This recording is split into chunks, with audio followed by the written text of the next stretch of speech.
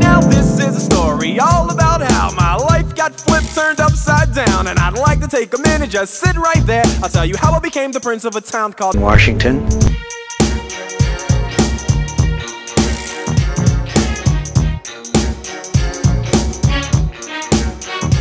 In Virginia. Born and raised on the Flight deck. is where I spent most of my days Chilling out, maxing, relaxing, all cool and all shooting some North Vietnamese soldiers. outside of the school When a couple of Taliban. who were up to no good Started making trouble in my neighborhood I got in one little fight and my mom got scared and said I think he'd make a wonderful president of the United States. I whistled for a Bus. And when it came near, the license plate said fresh and it had Democracy. in the mirror.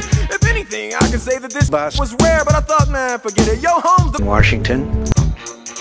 I pulled up to the house about seven or eight, and I yelled to Congress. Go home, smell you later. Looked at my kingdom, I was finally there to sit on my throne as the President of the United States.